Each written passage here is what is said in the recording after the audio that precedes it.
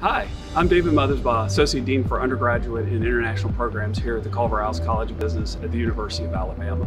While we're glad to be back to finish out the semester, we understand that you're facing challenges and uncertainties associated with the COVID-19 pandemic. Today, I simply want to reach out and reassure you that even though we're operating remotely right now, we're here for you. So even though in-person activities are not happening, we are using technology to deliver the classes and support you need. Beyond remote delivery of classes, we're providing access to remote tutoring for key classes, e-advising for summer and fall registration, virtual career advising sessions, and virtual professional development seminars on critical topics such as remote working. These resources and more are available at students.culverhouse.ua.edu. This page is your portal for critical resources to help you academically, professionally, and personally.